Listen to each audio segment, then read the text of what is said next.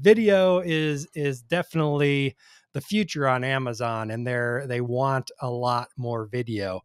And that's what you guys do at ComQuest. So I guess uh, where do we start with video? What uh, what's the importance of video on Amazon, and where are the most important places? Yeah, I mean, I think the, the first thing to look at is where is video on Amazon, right? Like, I kind of get a definition of where it actually lives and exists. And there's a lot of places that Amazon and they've they've been adding to it over the last couple years. We've seen a a lot of new places that video has arrived into. And so we've got you've obviously got the video that's been around forever, which is the main carousel video. That's the main product video, the main listing page video.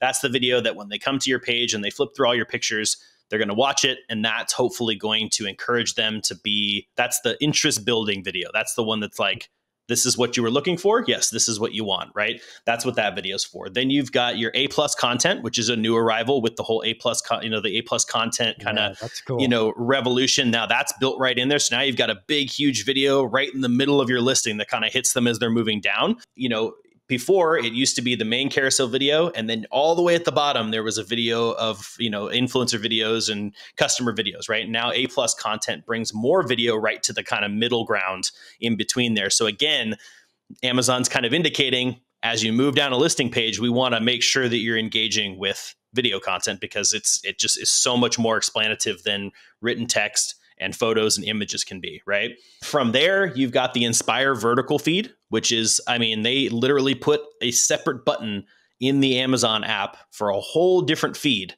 of content, and that is the Inspire feed. So that's their vertical feed. And then what you were talking about with TikTok, that's basically their first attempt to accomplish a TikTok style thing on Amazon, which I think we should dive in a little bit more because I think people may not really quite understand the value of the Inspire feed, but we'll, we can talk about that. From there, obviously, PPC ads. That's the name of the game. If you're selling on Amazon, right? PPC ads.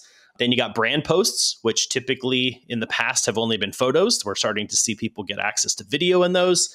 Um, and then you've got Amazon live streams. So you've got like just, there's so much place, there's so many places that video and Amazon coexist. And so when you look at that, anytime you see a company, especially the size of Amazon, making more and more features for one specific type of content, that's a huge indicator on what they think about it. so they're making more places for video to be.